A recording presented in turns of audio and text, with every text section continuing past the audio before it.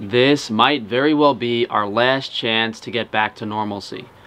I hope it really doesn't happen, but the infrastructure is set up and everything they've done so far is pointing to what they're going to do later this year.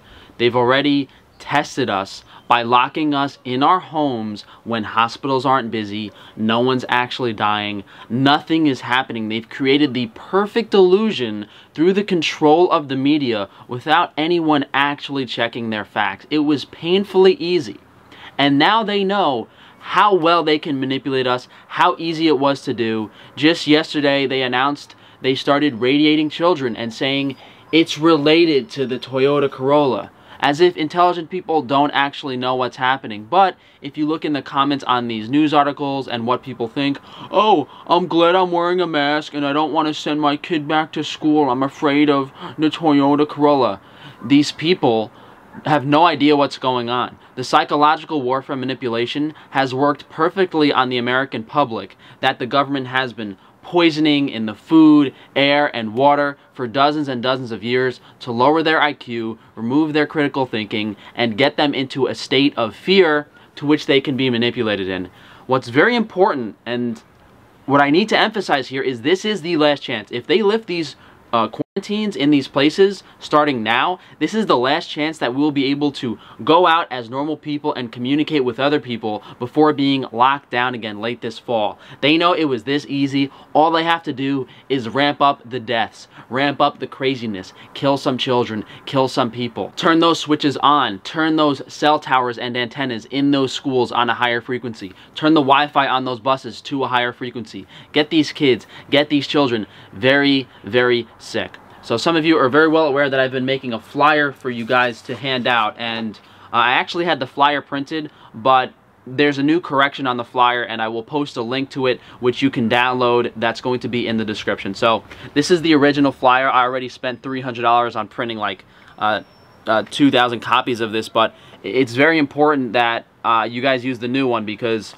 uh, and we'll go over this but on the old one it says Verizon has a yearly conference called Malakon Moloch is the biblical name of a Canaanite god associated with child sacrifice. Instead of this, it now says they have already killed children. They are blaming an illness related to Toyota Corolla when in reality it's radiation. So this is kind of like woo-woo stuff to some people. So we already have proof that they've killed children. So I put that on there instead instead of this. That's the only thing that's changed. So if you guys haven't seen this, uh, I'm going to put it up on the screen right now. Have you been suffering from insomnia, headaches, fatigue, lowering of libido, nausea, loss of appetite, depressive tendencies, brain fog, dry cough, heart palpitations, memory loss, irritability. These are symptoms of radiation poisoning. And just about everyone right now where these new cell antennas are getting installed is suffering from this. And with cell phone use ramping up over the past few years, some light bulbs are going to go off in people's heads. Oh, yeah, I started feeling like this last year. Is that what it is? And then they're going to start looking and seeing that they installed these devices in their town. Radiation poisoning from non-ionizing devices that emit radio wave signals, cell towers, cell phones, routers, modems, any Wi-Fi device. They will blame these symptoms on the virus. They have the perfect scapegoat for this. They can blanket the virus over everything. Oh, anything wrong with you? You have your toes are swelling, you have a skin rash, you're turning blue, your PP doesn't work. It's the virus. It's it's ridiculous that they can just blame everything on it when there are so many symptoms to radiation poisoning depending on the device, the frequency, your exposure to it. While we have been locked inside, telecom companies are working overtime to get the new Wi-Fi infrastructure installed on our streets, in our towns, and in our schools in the forms of these new towers and LED streetlights. And these people are very clever at disguising this stuff. I saw one like church had a cross in front of it and they took apart the cross and they installed the antennas inside the cross itself. These are not street lamps. These are not cell towers. If you look at this cell tower on the right, those antennas, the reason they're in a grid-like pattern is because when you change the pulsing frequency of each of those devices, it changes the direction of the antenna signal. If they were cell towers, why would you need to change the direction of it like a military weapon? Why would you need to do that? I, I might do a video explaining that grid pattern and how those electronic pulses, uh, they can change them based on the, uh, the intermittent pulse rate. This is military weaponry. They have total control over these devices and can ramp up their frequencies to make you very, very sick. So again, there might be some places right now where people are already getting very, very sick, but I guarantee you they have control over these devices with the flick of a switch. They can ramp them up, they can point them in this direction, they can point them in that direction. And if you're not protected, you will be in trouble. The way to protect yourself is basically paint your walls with lead paint, take the towers down, uh, you could put up certain curtains, uh, you could wear, the protective clothing isn't really that useful because you can't protect your head. So you mainly want to make sure that the place you're living, the place you're sleeping is protected. Uh, you could put aluminum mesh on the walls. You could do a bunch of things. Definitely check out my EMF video and uh, I might do a video in the near future about how to protect yourself. Do not send your children back to school. They have installed these devices and your children will start suffering the above symptoms if they have not already. And when I said if they have not already, that was before these articles about the children being put in hospitals and the children getting sick. And I did that video last Saturday, two days ago, and on Sunday, some children have died. So, as I said, this will now be, they have already killed children, and they are blaming this new sickness on the Toyota Corolla. But the new sickness is actually radiation poisoning. It's very simple. You look up the symptoms of radiation poisoning, this is textbook. People get exposure to these devices, they might not have initial symptoms, but several weeks later, they start suffering from the symptoms. Our rulers are evil. Petition your town to remove these devices and keep your family safe. Avoid Wi-Fi technology as much as you can. Do not trust the news. Do not trust your government. Do not trust the police. And it's very difficult. There's little hope, honestly, for handing out these flyers and hoping it clicks in people's heads. But the main point of these flyers is what's going to happen is people are going to read these. They might dismiss them. They're probably going to dismiss them at first, especially if they're not suffering these symptoms. But when they send their kids back to school and their kids come home and they say, Daddy, my tummy hurts. Daddy, I have a headache. I, I don't have an appetite. They're going to remember these flyers and they're going to start thinking and people are going to start thinking. This is very important to get this in the hands of as many people as possible. I went on Amazon.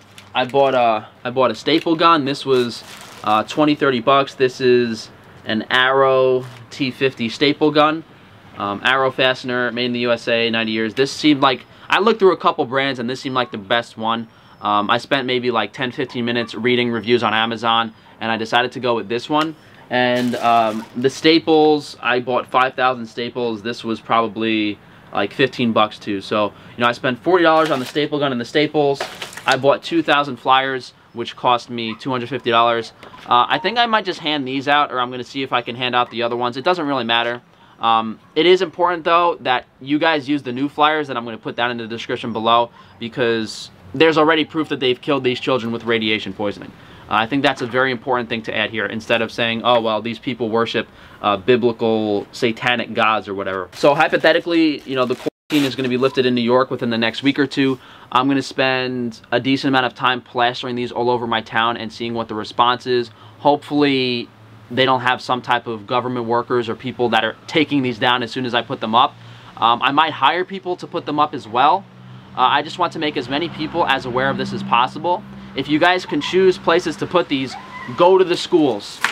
Go to the schools and put these up because there is a school that I didn't go to, but it's in my parents' neighborhood that literally is where I went to test. Um, I did a video, I think last week or the week before, where we went around and tested the LED lights. Um, and, and the video was actually titled, This is Weaponry, These Are Not LED Lights, and it has a picture of the LED lamps on the thumbnail. In that video, I went to a school where they actually have these lights set up. So if you go to the school where they have these lamps set up, and you put this poster on the telephone pole where the lamp is, you're going to get some parents very, very, very concerned. So definitely go to the middle schools, go to the high schools, plaster these all over those schools, any community places, every telephone pole where people walk by and commute. Get as many people to know about this as possible. You know, there's a there's an LED lamp on that telephone pole right there, and there's one on that right there. And when people see this flyer under it, they're going to see, oh my God, that's what that is. That's a that's a weapon. There's an antenna on it. Uh, so hopefully this helps wake some people up. Uh, I, I, think most people are literally just inside being completely brainwashed by the media and they're not being exposed to anything alternative whatsoever. This is going to get them to think and I think this is the most effective thing we could possibly do. This is their weapon. This is the weapon. There's nothing else to talk about or worry about. If they don't have these antennas and their LEDs up, they can't do anything.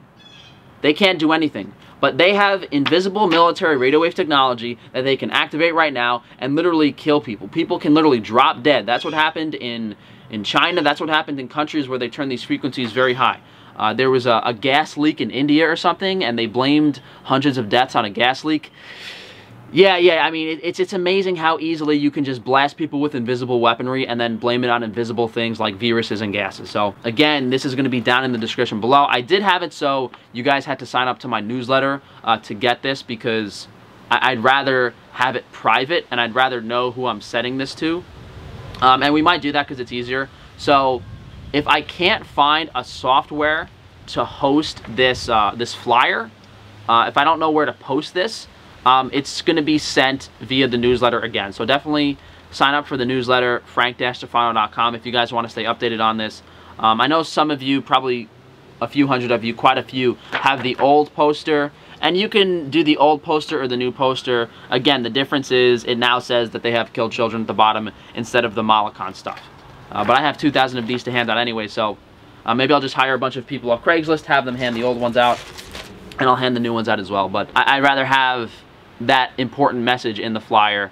Uh, I think it's it's better that people can go look and see those news articles where they blame the mysterious illness on the Toyota Corolla. So uh, thank you guys for joining me today.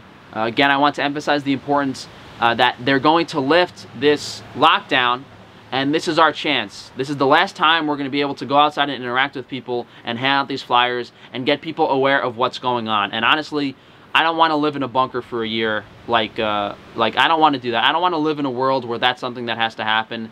I want it to be a world where uh, a community of people can actually get back to some type of normalcy and work together to have a solution as opposed to being controlled and manipulated by these elite people that need society to function. These elite people need society to function as normal until they can get where they need to go. And they're pretty much set already to my understanding, but uh, whatever. Let's um, let's see how these next few months go. Unfortunately, I think most people are just happy they're going to be able to go out to restaurants, go out to eat, go out to party, uh, go out to the beaches. When in reality, they should be preparing uh, for the worst, for a six-month lockdown for a very long period of time. Uh, for the worst the government is going to bring, and unless we can wake people up and wake a lot of people up, we're going to be screwed. So uh, that stuff is all down in the description below, guys. I guess we can try to be positive, right?